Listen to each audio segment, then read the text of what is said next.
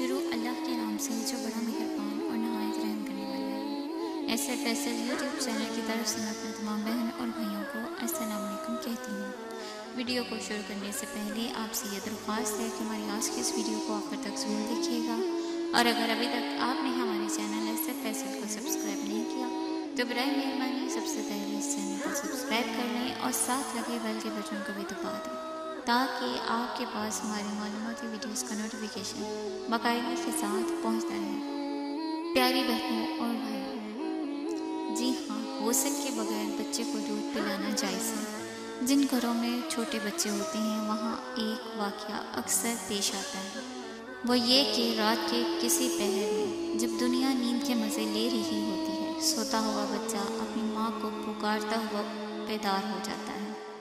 उसकी आवाज़ सुनकर उसकी माँ भी फ़ौरन बेदार हो जाती है। बच्चा भूखा होता है तो इसे दूध देती है। बिस्तर गीला कर देता है तो कपड़े बदल देती है। गर्ज बच्चे को जो भी तकलीफ़ होती है, माँ अपनी नींद और आराम को भूलकर इसे दूर करने की कोशिश करती है। माँ की यही मोहब्बत इसे माँ बनाती है। लोग माँ को जानते हैं, खुदा को नहीं जानते।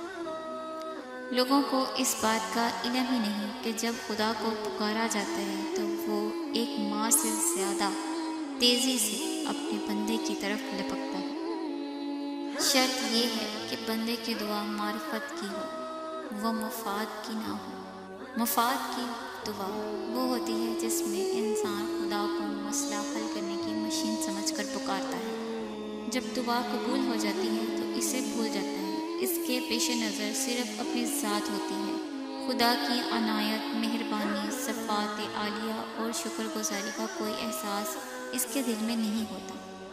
अल्लाह ताला बहुत करीम है। वो ऐसी दुआओं का भी जवाब दिया करते हैं। मगर इसमें वो इंसानों की हमत व मसलहत की रायत ज़रूर करते हैं। इसके बरअक्स मार्फत की दुआ इस दिल से निकलती है जो खुदा को इसकी अनायत और सिफात के हवाले से जानता है।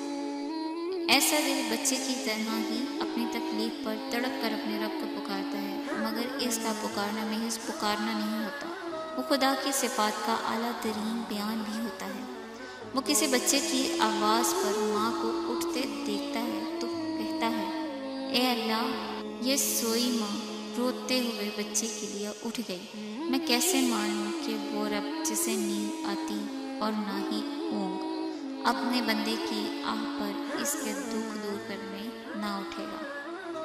यही वो दुआ है जिसके बाद हर नामुमकिन मुमकिन हो जाता है।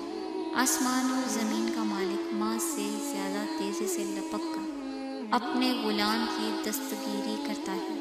मगर बदकिस्मती से आज कसरत दुआ की। इस दौर में यही मार्फत भरी दुआ बहुत कम मिलती नाजरीन ये थी आज की वीडियो उम्मीद करती हूँ कि तमाम देखने और सुनने वालों को पसंद आई होगी. आखिर में मैं अपने तमाम बहन और भाइयों से गुजारिश करना चाहूँगी कि हमारी आज की इस वीडियो को सबका जारिया समझकर ज़्यादा से ज़्यादा शेयर करें और मुस्तबिल में आने वाली तमाम नई वीडियोज़ को देखने के लिए ऐसे फैसले को ज़रूर सब्सक्राइब